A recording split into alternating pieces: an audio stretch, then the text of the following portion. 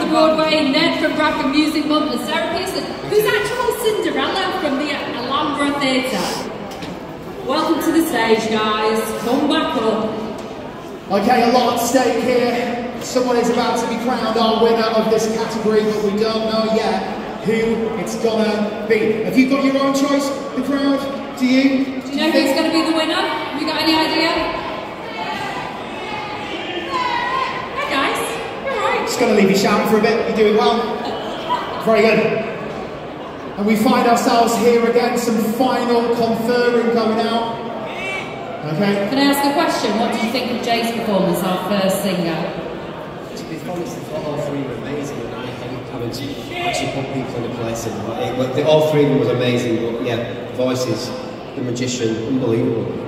Incredible talent here today in Bradford. Yeah. Some emotional like singing as well, isn't it? It's good. You can feel the passion is there. felt it, it was heartfelt and uh, it was fantastic.